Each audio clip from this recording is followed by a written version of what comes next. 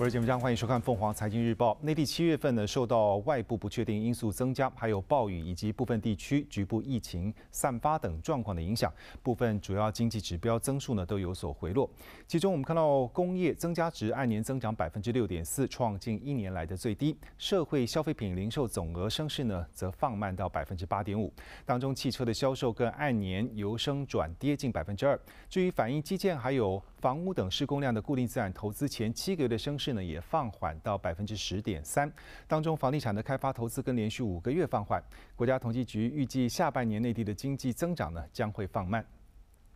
那么，在稳增长压力加大的情况之下，货币还有财政政策该如何发挥联动的效应？相关的话题，那么稍后我们有请今晚我们邀请到的嘉宾，渣打银行大中华及北亚首席经济师。丁爽先来做进一步的解读，还有分析。至于内地七月份的失业率呢，则微升零点一个百分点到百分之五点一。国家统计局指出，就业的形势总体保持稳定，其中二十五到五十九岁的就业主体人群失业率为百分之四点二，跟上个月持平。而二季度外出务工劳动力的总量一点八亿人，已经基本上恢复到疫情前的水平。现在你看报道。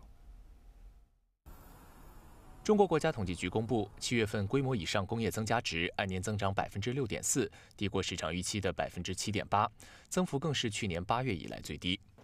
四十一个大类行业中有三十五个行业增加值保持增长，按产品分类，新能源汽车增幅更按年飙升超过一点六倍。社会消费品零售总额按年增长百分之八点五，也低于市场预期的百分之十一点五，是年内的最低水平。餐饮收入增幅保持较快水平，按年增长百分之十四点三。网上零售增速也在较快水平，达到百分之二十一点九。实物商品中，吃穿类增幅都超过两成。而反映基建投资的固定资产投资增幅，在今年首七个月增长百分之十点三，增幅低过市场预期的百分之十一点三。在各个产业当中，制造业投资增长较快，达到百分之十七点三。至于首七个月的城镇新增就业人数为八百二十二万人，完成全年目标的百分之七十四点七，失业率则微升零点一个百分点到百分之五点一。凤凰卫视综合报道。中国国家统计局指出，尽管七月份部分主要的经济指标增速呢都有所回落，但从累计来看，主要的宏观指标仍然处于合理区间，经济总体延续恢复的态势。下一步呢将会做好宏观政策的跨周期调节，科学精准实施。宏观政策。七月份内地经济延续恢复态势，但主要指标增速明显回落。统计局发言人傅林辉在记者会上称，当前全球疫情持续演变，国内疫情多点散发，以及自然灾害对部分地区经济产生了影响，经济恢复仍然不稳固、不均衡。七月份呢，受外部这个不确定因素增加和国内汛情和疫情的影响呢，部分主要指标呢增速有所回落。但是从累计来看呢，主要宏观指标呢仍处在合理的区间，那么经济延续了恢复的态势。在就业领域，七月当月城镇调查失业率为百分之五点一，比六月上升了零点一个百分点。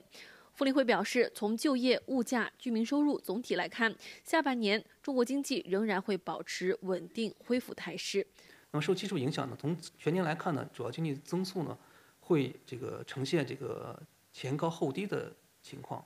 综合来看呢，这个总的看下半年呢，我国经济呢，呃，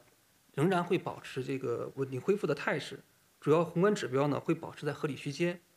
经济循环改善，发展质量会继续的提升。凤凰卫视小文侯有运，北京报道。中国央行今天开展的六千亿元中期借贷便利 （MLF） 的操作，利率连续第十六个月持平，但是未能完全对冲本月的全部到期量。不过有学者指出，六千亿的操作量呢，已经高过市场的预期，这也反映央行对于合理充裕流动性取向并没有改变。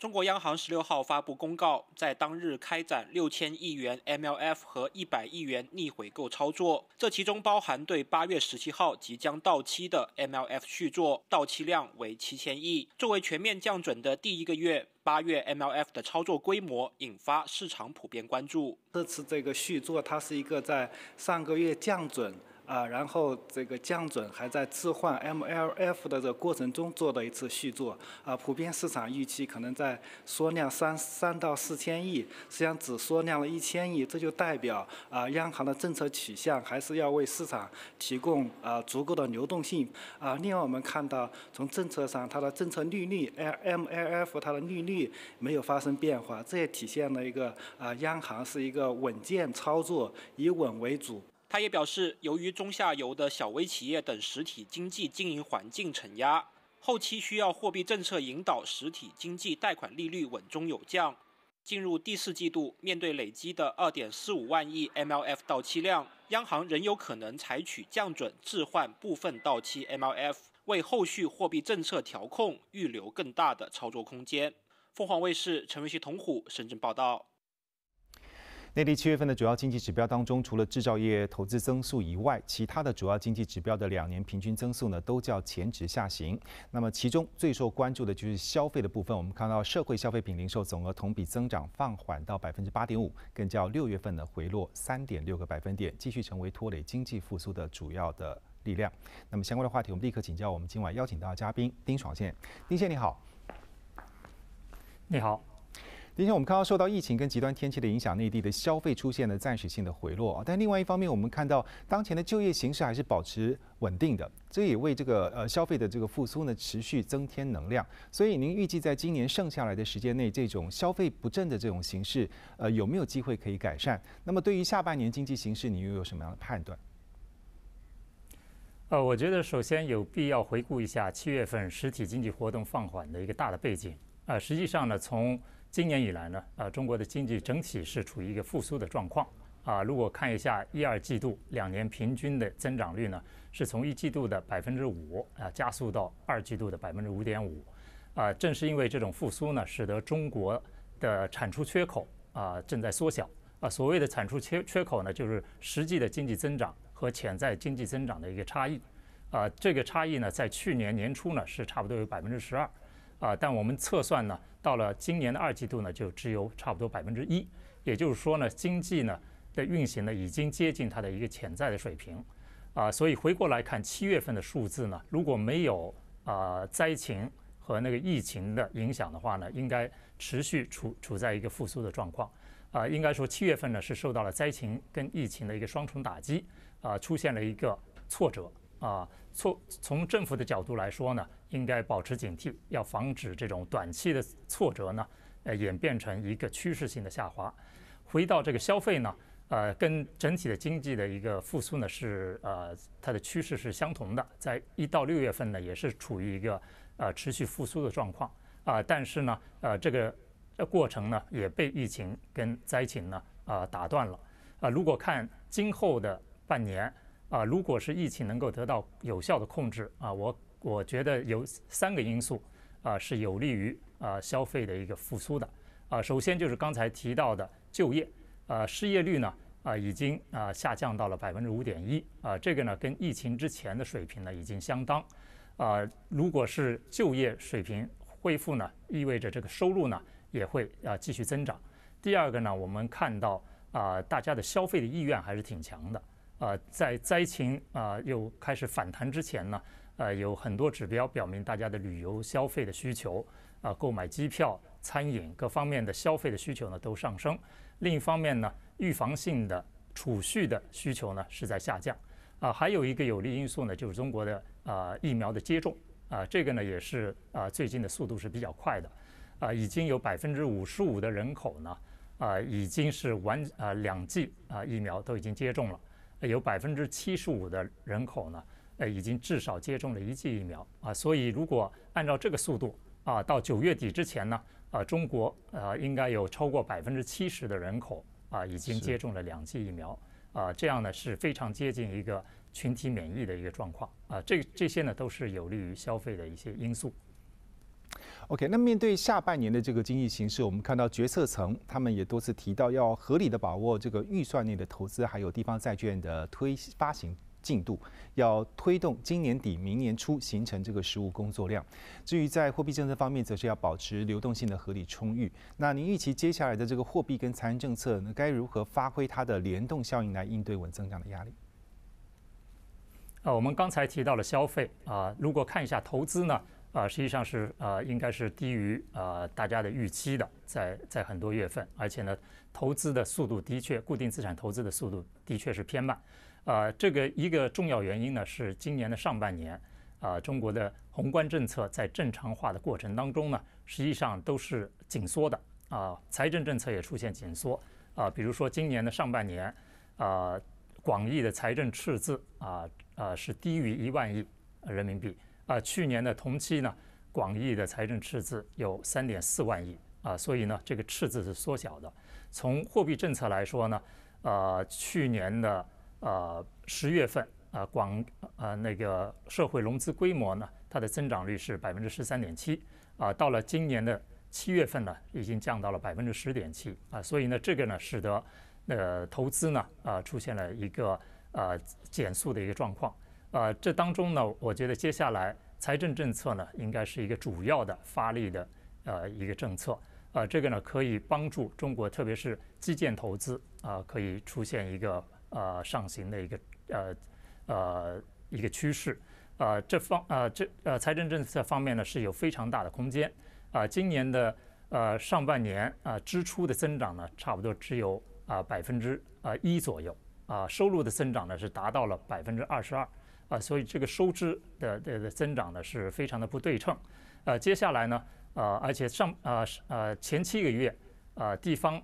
专项债的发行啊只有差不多一点三万亿。啊，接下来呢，全年的额度如果要用足的话，还有两点三万亿的额度，啊，所所以如果是充分利用专项债的发行呢，可以推动啊基建投资的一个恢复，这个呢也是会间接的有利于制造业投资啊，那呃出现继续的一个啊好转。啊，制造业投资本身呢啊它有一个恢复的一个需要。啊，主要呢是因为中国的那个工业的。啊，产能的利用率呢，现在已经达到一个非常高的水平啊，在呃二季度呢，已经达到了百分之七十八的一个创纪录的水平啊，说明这个产能呢越来越不能满足需要啊，需要有进一步的投资啊，所以政府的投资呢又会带动制造业的投资啊，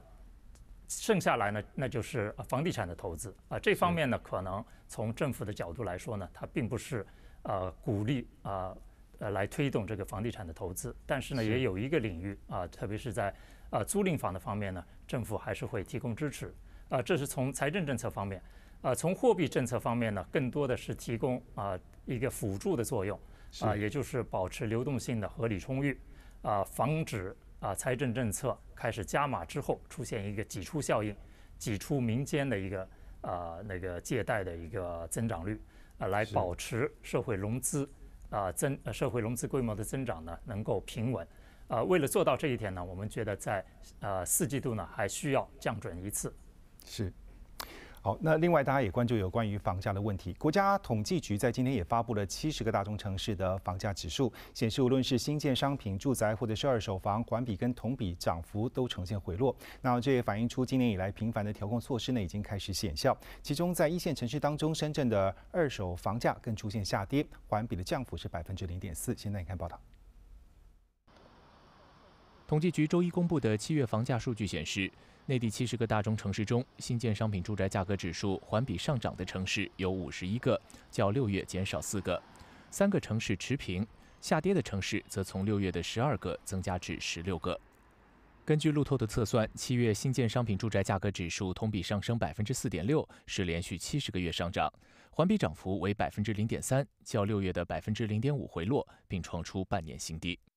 其中，青岛、海口、银川等地的新建商品房价环比涨幅较高，而北上广深四个一线城市的新房价格环比上涨百分之零点四，涨幅较六月回落零点三个百分点。二手房方面，四个一线城市中，北京和上海的环比涨幅有所回落，广州持平，深圳则环比下降了百分之零点四。三十一个二线城市的二手住宅销售价格环比上涨百分之零点二，涨幅较六月回落零点二个百分点。三十五个三线城市的二手房价格环比更由六月的上涨转为下降百分之零点一。凤凰卫视综合报道。内地持续收紧楼市调控令，到楼价连续两个月的涨幅收窄。相关的话题，我们继续请教我们的嘉宾丁先生。丁先生，我们看到从早前发布的信贷数据，也可以看到居民的中长期贷款增速下滑，加上开发商呢也加速资金压力加呃呃也面临资金压力加速的出货。所以您预计在这些因素的叠加下，未来几个月的楼市会不会迎来一个真正拐点？呃，我觉得要判断那个楼价的拐点呢，是一个风险很大的呃一一一一一个判断啊。呃，之前呢也有很多分析师都栽了跟头，呃，特别是考虑到就是说我们现在的房地产调控方面啊，有一项措施是啊呃价格的调控啊，所以有一个限价，所以其实那个统计局公布的数字呢，可能并不能完全的反映这个房价的一个上涨的一个压力。但是从经济分析的角度呢，我更关心就是。房地产投资会不会出现一个拐点？呃，这方面呢，我预计就是房地产的投资至少那个过热的状况会有所改观。啊，前七个月呢，房地产投资啊还是呃增长了百分之十二点七，是两位数的增长。我预计到那个年底呢，它会回落到呃呃单位数的一个增长。呃，同时呢，也不会出现负的增长。啊，主要原因一个呢就是。呃，房地产的开发商呢，现在它的重点是加速那个建设完工，然后出销售来保持它的流呃那个流现金流。啊，所以呢，它就减少了卖地。啊，所以在一方面来说呢，它能维持一定的一个投资的增长；另一方面呢，政府也是在支持啊租赁房的投资。啊，通过税收措施，通过土地政策。啊，所以这方面的房地产的投资呢，还是会保持一个呃比较合理的速度。OK，非常谢谢丁先生，我们今天财经话题做的分析，非常谢谢你。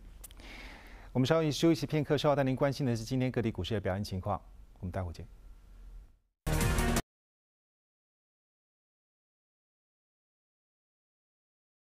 个别发展，在锂电池股受压的拖累下，创业板指呢急跌百分之一点三，险守在三千三百点；深成指呢也估压沉重，盘中最多下挫接近百分之一。沪指则变动不大，微涨一点，收在平盘上方。至于香港股市，录得三连跌，一度反复跌到两万六千点的边缘，中场收跌百分之零点八，创超过两周的新低。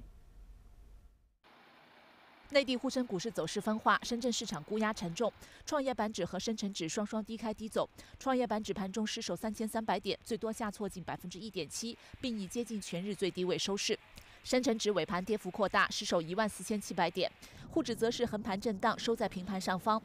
从盘面上看，锂电池股走低，半导体股、氢能概念股涨幅居前。沪指中场收在三千五百一十七点，微升一点；深成指收报一万四千六百九十三点，跌幅百分之零点七一。创业板指数跌幅领先，收跌百分之一点三一。科创五零指数收低百分之零点三一。两市成交额一万两千多亿元人民币，北向资金净流入超过六十二亿。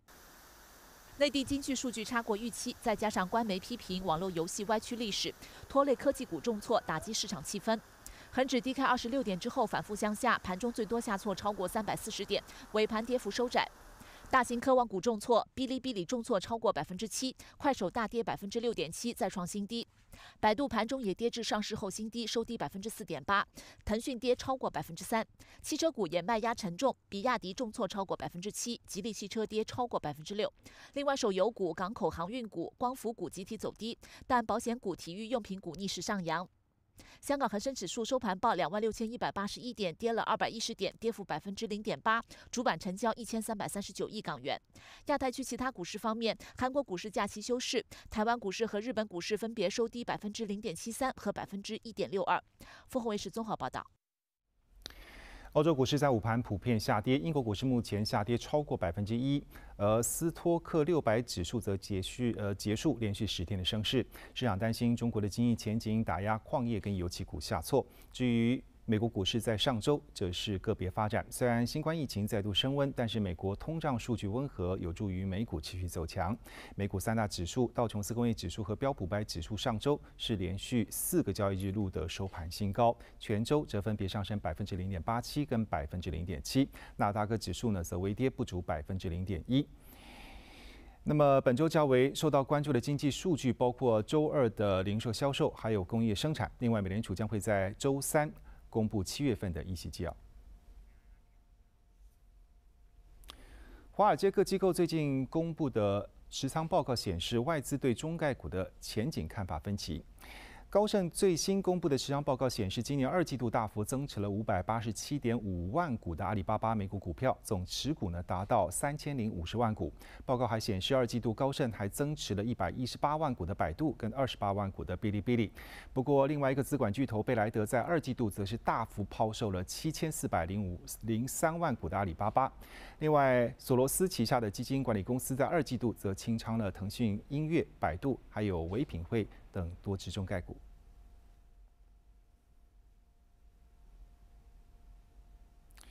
马来西亚政局生变，打击吉林特的汇价今天下跌，并且触及一年来的低位。但是美元对主要的货币回稳，有助于人民币的汇价趁机升到超过一周的最高位。马来西亚总理与内阁总辞令投资者担心政治不稳定，将令金融市场继续承压。林吉特汇价周一应声下滑，触及四点二四三兑一美元，是去年七月以来的新低。不过尾盘市场气氛传定。汇价重上到平盘附近，股市也收窄跌幅，收盘仅仅微跌约百分之零点一。至于美元对其他主要货币则回稳，美汇指数脱离上周五的一周最低位，对澳元和新西兰元等风险货币的涨幅较为明显。不过人民币走势坚稳，中间价上升八十二个基点到六点四七一七，是本月六号以来的最高位，但低于市场预测的六点四六八四。即期汇价开高走高，中场收高七十四个基点，报六点四七五六，也是六月以来的最高位。但全天的波幅只有七十二个基点。离岸汇价则在贴近在岸价的水平附近反复争持，缺乏方向。中国债券市场方面，人民银行的中期借贷便利 MLF 续作规模高过预期，加上经济数据欠佳，有助国债现券收益率平稳。收盘上升不足一个基点，国债期货价格则微跌。银行间市场资金面改善，大部分回购利率下行。央行除了 MLF 之外，在逆回购操作中则连续第十一天维持一百亿元的操作规模，继续对冲到期量。凤凰卫视综合报道。